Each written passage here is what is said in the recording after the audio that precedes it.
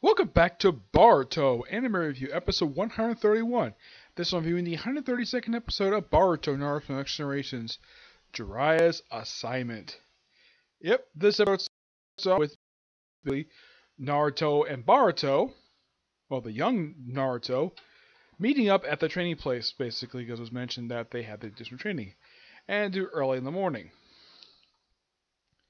And of course, he's battering for a bit, and then, of course, well, then we have Jiraiya shows up. Basically, we had to practice like synchronizing the chakra.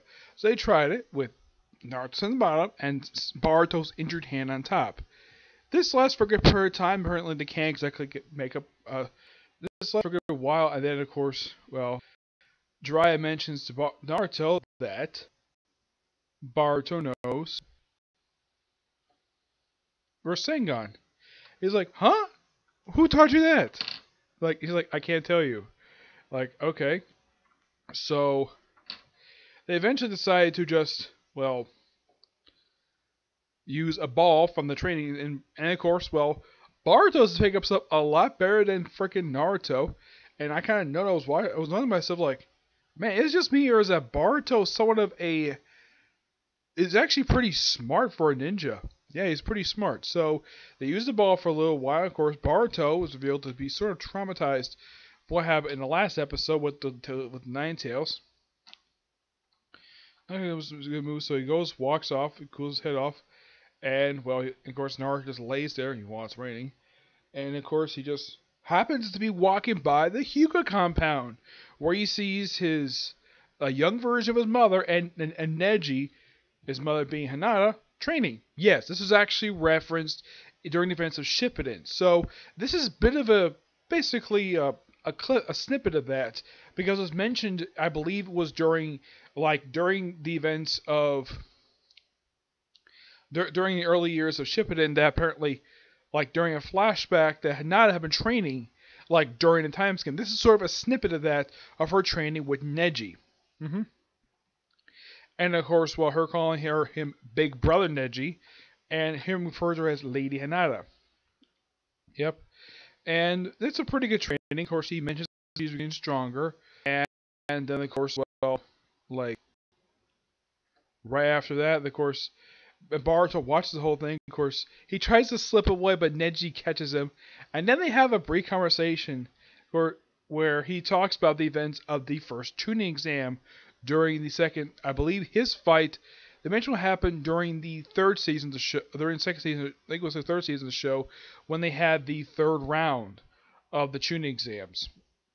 You know, when, uh, when they had Naruto fight frickin' Neji. Yeah, this happened during season three. And then, of course, well, while this is going on, we have Sasuke meet, uh, have or, or Jiraiya meet up with Sasuke to deliver Bar Naruto some food, and then of course, well, they have these two, and of course, well, Naruto references the events of the first battle in Final Valley between him and Sasuke.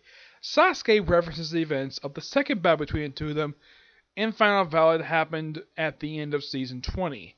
In the case of the first round, that happened toward the end of season 4 of the original show. Mm-hmm.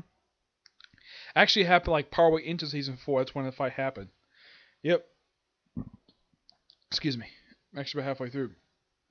And they basically get along really well. Of course, he asks what his name is. Like, I can't remember his name. And well, in the case of Boruto, he can't tell Neji his name because he's actually kind of named after Neji.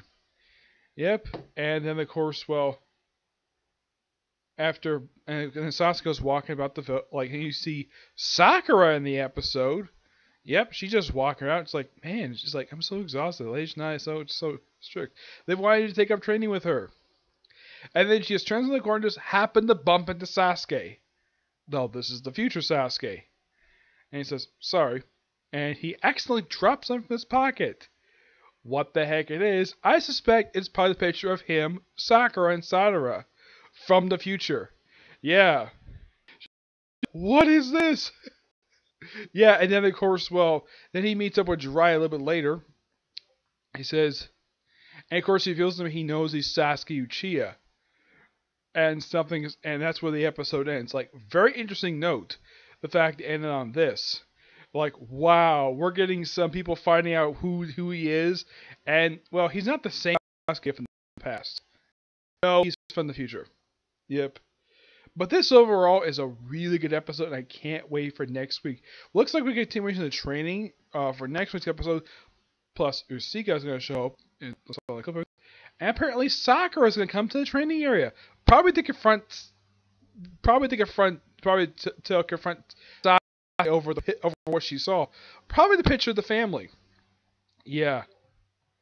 That's what it looks like to me. That was a picture of basically the family that he just had to keep in his pocket.